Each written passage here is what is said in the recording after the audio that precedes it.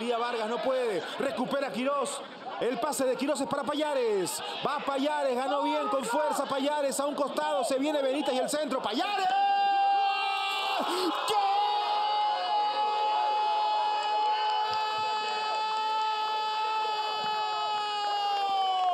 ¡Gol!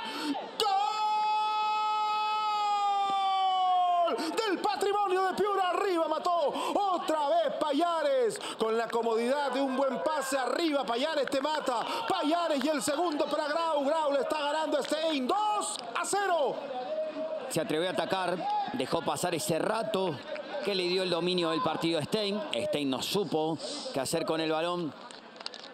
Palacios encaraba a Vargas que le quite el balón y desde una pérdida en el medio, qué buen lanzamiento del zurdo Quirós. Aquí va a friccionar Payares con Valverde y termina quedándose atrás Benítez, que lo hace bien por el medio y también lo hace bien por banda. Otra vez esta manera de centrar, como lo vimos en Tejada, cortando el balón, no casi colgándolo, dejándolo en el aire, porque se sabe que Payares va a llegar antes que nadie. Espalda de Cotrina, estaba cerrando Navarro en el segundo palo. Y aquí ya no sale al centro.